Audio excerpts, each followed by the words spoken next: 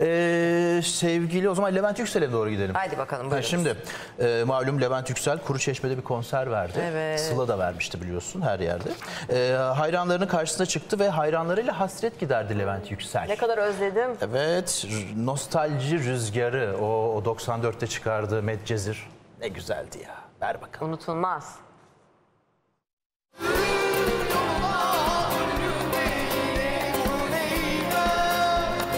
Levent Yüksel, Kuruçeşme'de verdiği konserde sevenlerinin karşısına çıktı. Yakarım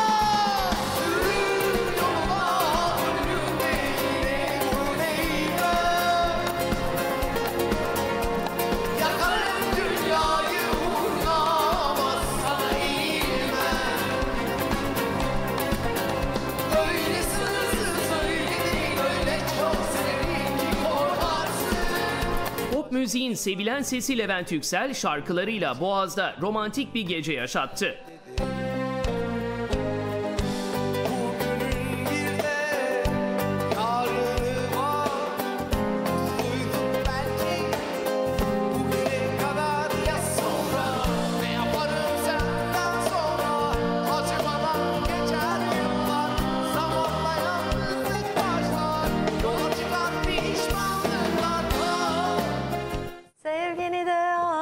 Yani Levent Yüksel'in ve 90'lar popuna şöyle bir dönüp baktığımızda ezbere bilmediğimiz bir şarkısı var? Yok.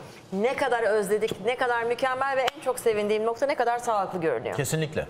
Bu kadın şarkıları albümü vardı. Orada bambaşka bir şekilde seslendirmişti bu şarkıları. Bir de kendi özgü.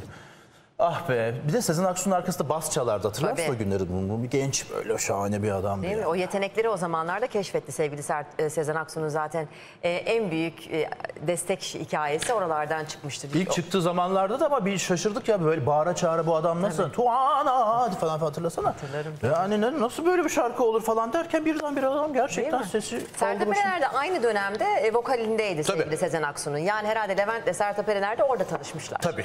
Aşk oradan başlıyor. Sezen. Aksu görüyor bu iki tane cevher.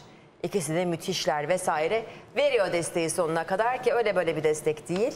Ee, onlar da bugün tabii ki çok büyük değerleriyle hayatımızdalar. Ellerine su dökülmez. Hayır, ama bazı unutulmaz anlar var işte. Mesela hani Levent Yüksel ile Sertab Erener'in birbirleri için yaptıkları, Sezen'in o dönemki desteği.